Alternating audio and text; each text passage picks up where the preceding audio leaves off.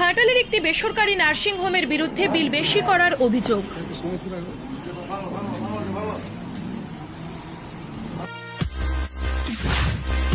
নমস্কার, দেখছেন ঘাটাল নিউজ। সাথে রয়েছি আমি সুমনা।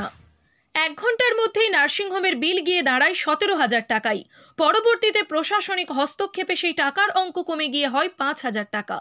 এই অভিযোগ ঘাটালের একটি বেসরকারি নার্সিংহোমের বিরুদ্ধে।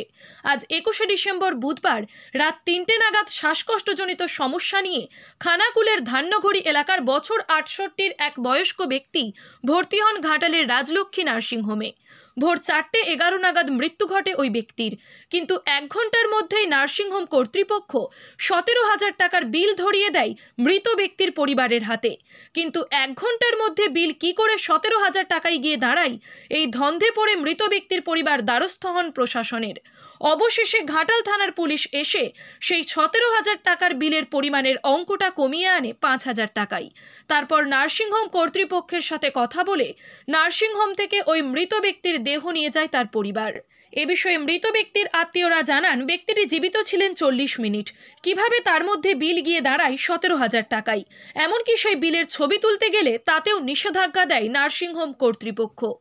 গতকাল গতকাল নয় রাত তিনটে কুড়ি। হ্যাঁ তখন আমরা ওনার শ্বাসকষ্ট হয় খুব। হ্যাঁ। ভর্তি করি আইসিইউ আছে। বয়স কত? বয়স আটষট্টি হুম। সমস্যা কি ছিল? সমস্যা শ্বাসকষ্টজনিত সমস্যা হচ্ছিল খুব। তো ওখান থেকে রেফার করে হয়েছিল হুম। যেটা বাড়ি থেকে যে শ্বাসকষ্ট হচ্ছে। ইমিডিয়েট এতে ভর্তি করা উচিত। যে কোনো বাগে ভর্তি ছিল? হ্যাঁ হ্যাঁ। তো এখানে আইসিইউ আছে আর হচ্ছে ভেন্টিলেশন আছে ফেসিলিটিটা দিতে হবে। আমরা তিনটে কুড়ি ভর্তি করি। তিনটে কুড়ি ভর্তি করার পর চারটে দশে উনি মারা যান। মারা গেছেন কিছু করার নেই। এবার তারপরে বিল টিল নিয়ে যখন কথা হলো তখন আমাদেরকে বিল বলা হলো অ্যাকচুয়ালি ডাক্তারবাবু দিলেন বারোশো টাকা রাত্রে ভিজিট আর টোটাল বিল হচ্ছে ডেথ সার্টিফিকেট নিয়ে সতেরো হাজার সাতশো একান্ন টাকা আমাকে বিল বলা হয়। একটা আমার কাছে অ্যাবসার্ট মনে হলো যে এত বিল কী করে হয় একটু সময়ের মধ্যে? কত টাকা? সতেরো হাজার সাতশো একান্ন। কতক্ষণ ছিল? ধরুন পেশেন্ট জীবিত ছিল চল্লিশ মিনিট। তো সেক্ষেত্রে আমার একটু মানে এ লাগল। এবার উম, মালিককেও ফোন করলাম বা যারা বিল বানিয়েছিল তাদেরকে জিজ্ঞেস করলাম যে এত বিল কিসের? বলছে এটা আমাদের প্রসিডিওর এই বিলটাই হয়। বিলটা দিয়েছিল? হ্যাঁ? বিল দিয়েছিল? হ্যাঁ বিল একটা মানে হাতে লেখা বিল দিয়েছিল প্রথমে দেখানো ছিল তো আমি বিলটা দেখতে চাইলে বিলটা দেখেছি কিন্তু আমি একটা ফটো তুলতে চাইছি ওনারা বললেন না টাকা পেমেন্ট না করলে ফটো তোলা যাবে না। বিল আপনি টাকা পেমেন্ট করুন। তো এখানে আমি প্রশাসনের দ্বারস্থ হলাম।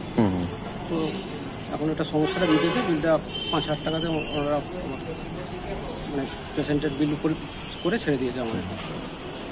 পাঁচ কেন দিল তো ওনারা জানি না ওটা আমরা ওটা দিতে পেরেছি ওটাই নিয়েছে। আপনার নাম? আমার নাম দেবব্রত মন্ডল গ্রাম ধান্নাবাড়ি আর পেশেন্টের নাম? নিহার নিহার এ বিষয়ে নার্সিংহোম কর্তৃপক্ষের কাছ থেকে জানতে চাওয়া হলে তারা কি বললেন শুনে নেব। হ্যাঁ একটা পেশেন্ট ভর্তি হয়েছিল সেটা রাত্রি তিনটার সময়। পেশেন্টটার বিপি ফল্ট ছিল শ্বাসকষ্ট প্রচণ্ড হচ্ছিল। পেশেন্টটাকে আইসিউতে শিফট করি আইসিউতে পেশেন্টটা ভর্তি করার পর এক ঘণ্টা পর ভেন্টিলেশনে স্টার্ট করে দিই, যেহেতু শ্বাসকষ্ট হচ্ছিল।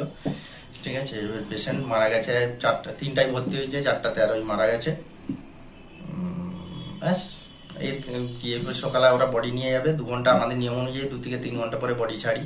ওরা সকালবেলায় ওরা রাত্রে নিয়ে যায়নি, সকালে নিয়ে যাবে। তাতে করে আমি কিছুই জানতে পারলাম নি পুলিশ পুলিশ নিয়ে এসে হাজির হয়ে গেল। ঠিক আছে, তারপর পুলিশ এসে বলল যে সতেরো হাজার টাকা বিল হয়েছে, তুমি একটা দেখে করো। পুলিশই নিজে বলে দিল যে তুমি পাঁচ হাজার টাকাটা নাও, এরা দিতে পারছে না অপারো ব্যাস, আমি পুলিশের কথা ই করে ছেড়ে দিয়েছি।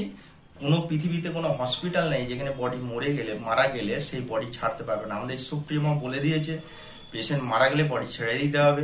তাতে পয়সা দেখ নাই দেখ। এটা তো আমার মাথায় আছে। আমরা অনেক পেশেন্ট ছেড়ে দিই। কে টাকা দিল, না দিল পেশেন্ট মারা যায়? আমরা, আমি মনে করি, যারা মারা যায়, কেউ আজ অব্দি আমাকে মনে হয় না যে কেউ টাকা দেয় না। মারা গেলে তারা ঋণমুক্ত হয়ে যায়।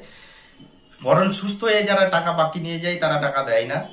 ও ছেড়ে দিয়েছে। ওগুলো পেশেন্ট মারা গেলে আমার কোনো কিছু আমার গায়ে রাখেনি। কে পয়সা দিল, না দিল, অনেক পেশেন্ট পয়সা দেয় না। তাতে কি হয়েছে?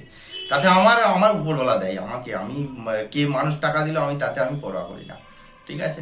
তো ঠিক আছে, নিয়ে গেছে, ভালো হয়েছে, ওরা পুলিশ এনেছে, আমার অজ্ঞান আমার অজান্তেই এনেছে।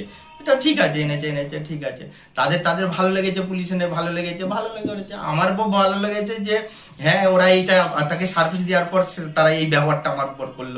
এতে অন্য মানুষ, এতে ট্রিটমেন্ট থেকে অনেক এই পাবে। এই আর কি বলব আমার আর কিছু বল-